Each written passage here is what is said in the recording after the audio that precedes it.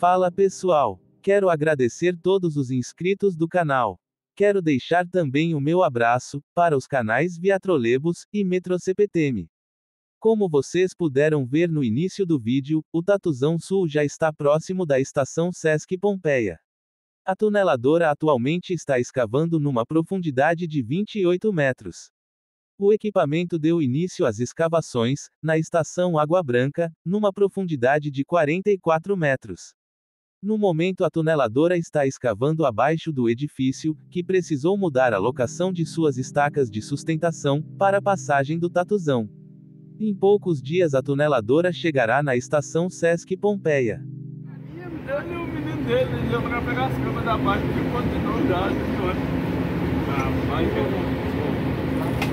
rapaz, Daqui